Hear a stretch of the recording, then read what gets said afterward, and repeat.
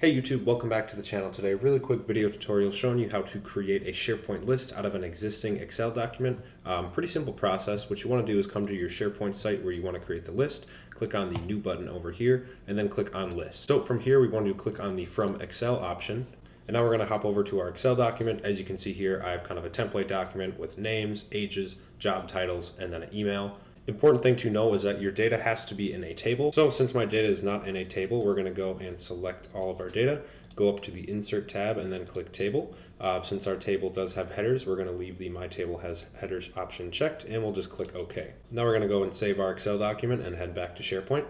So from here, you're going to want to click Upload File and then select your Excel file. So if your Excel document has multiple tables, you can select them from here, but ours only has one. And this is showing you how the data is going to import, so you can change the type of column it's going to come in as. So let's say this number, we want to convert to a single line of text on import. Uh, we would just go ahead and then click Next once we've reviewed this.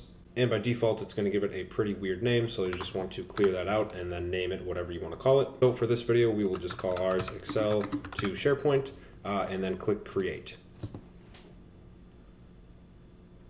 So it shouldn't take too long depending on the size of your list and we can see now that we have our new Excel to SharePoint list um, all uploaded. A couple things to note, this does not link directly back to our Excel document. And another important thing to note is that the row limit on this is 20,000 rows. So if you do have data that's over 20,000 rows, this method is not going to work for you. So this is something that might be really helpful for companies that are migrating older Excel processes into Power Platform solutions, leveraging SharePoint lists. Thanks so much for watching this video. I hope you enjoyed it. Don't forget to like and subscribe and leave any comments if you have any questions. We'll see you in the next one.